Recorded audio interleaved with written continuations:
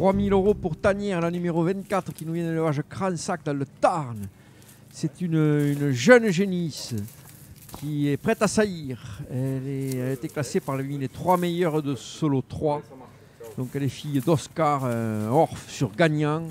Et Laure, donc une petite fille de Théodule et d'Uranium, ce qui peut expliquer ses qualités musculaires. Donc c'est une génisse qui nous a bluffé par le, le- le muscle qu'elle porte sur son dos et son arrière-main.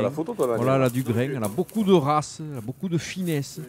Bon, L'élevage Cransac vient de s'illustrer à Paris en battant le record de prix dans les vaches de boucherie, de prix au kilo. Et euh, il nous a mis une génisse euh, qui aujourd'hui est peut-être la, la génisse la plus musclée de cet allotement. On lui souhaite bon vent pour le futur.